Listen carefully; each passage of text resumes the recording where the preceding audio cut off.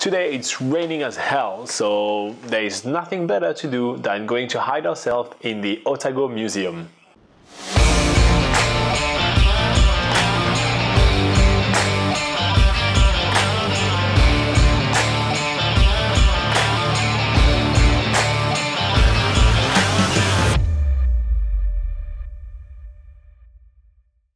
It's not a little bit of rain that's gonna stop us to enjoy 365 activities during our awesome gap year. So today, despite the rain, we are heading to the awesome Otago Museum. It's a really fun hands-on museum where there is heaps to do for big and small kids like us.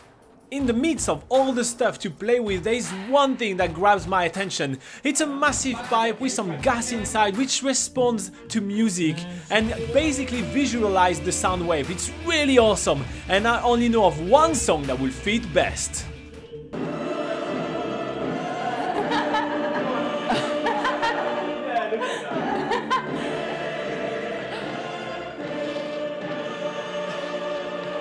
Works well.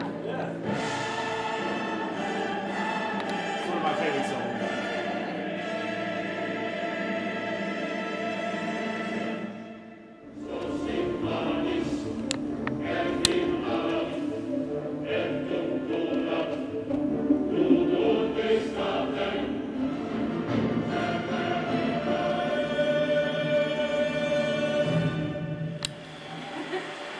a pretty epic attraction for a museum, isn't it?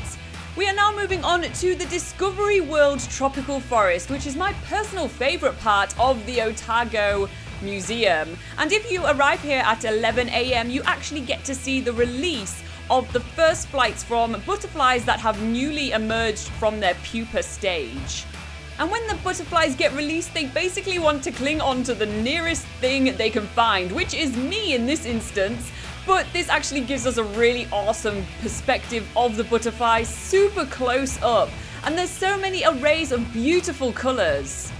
This whole room is filled with hot air, making it like an artificial tropical environment that I certainly do not want to leave today. It is super warm in here.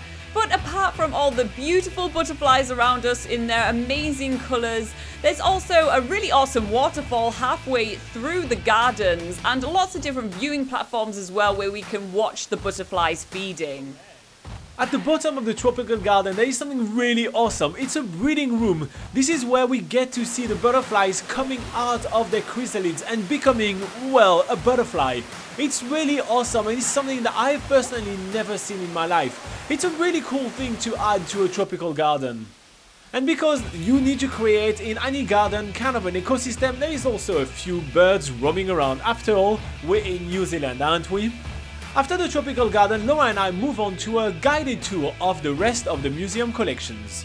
During this Treasures of the Museum tour, we're gonna be going uh, over every single one of the collections of the museum and seeing some of their highlights and get a little bit of an insight from our tour guide. It's a really awesome way to tour the museum without having to spend about 7 hours going through everything.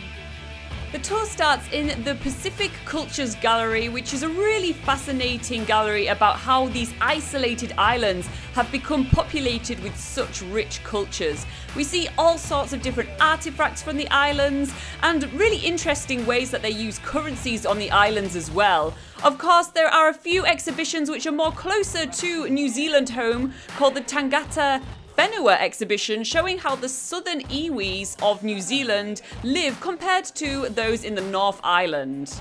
We then move on to Animal Attic, which displays animals in accordance to the Victorian theory of evolution, which is going from simple to more complex animals.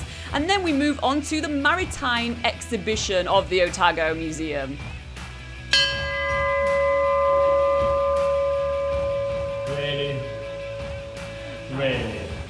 We then move on to the next exhibition which includes a massive fossil of a plesiosaur. This is actually New Zealand's largest fossil and was found in Shag Point which is in the Catlins where we were only a few days ago. The next part of the museum includes a really hairy goat as well as a stuffed royal albatross. This is because Dunedin is home to the largest mainland colony of royal albatross which is in Taiaroa Head where we're gonna be going only in a few days when we're visiting the Albatross Center. It's time for us to head out, brave the elements, and make our way back toward the Hogwartz hostel. There's an elephant in the room.